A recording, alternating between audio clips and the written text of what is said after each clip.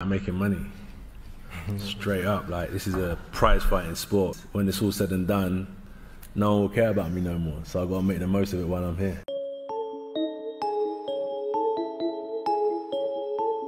What's going on, you guys? Anthony Joshua is going back to the basics. Anthony Joshua is now training with Errol Spence's trainer, Derrick James. Hit that like button for your boy. Give me that HBO special. That's the Help a Brother Out special. We on the road to 100,000 subscribers.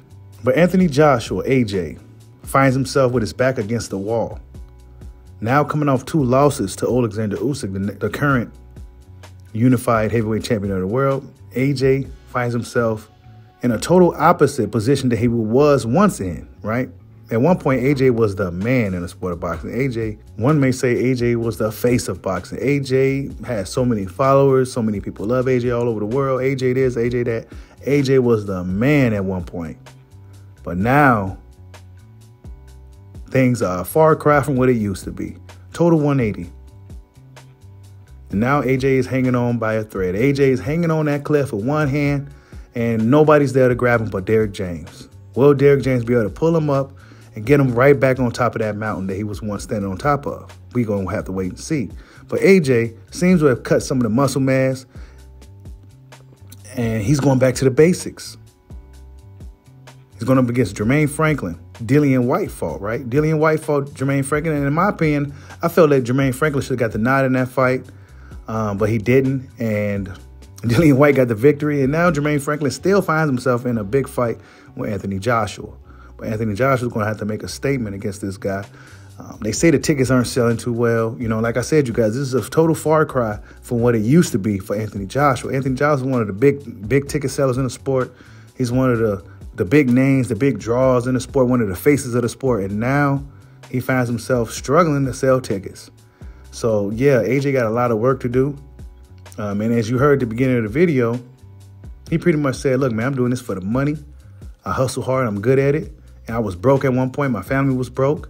And I know at the end of the day, nobody's gonna care about me when it's all said and done. So I gotta make the most money out of this while I still can. And that's real talk from AJ, right? AJ got to do it for himself, right? And I think he's in the right place. I think he's in the right place down there in Oak Cliff, Texas, Dallas, over there training with Derrick James. I felt that he should have been with Derrick James years ago. I think the AJ style and who he is as a fighter, um, Derrick James would have been a good, a good fit for Anthony Joshua.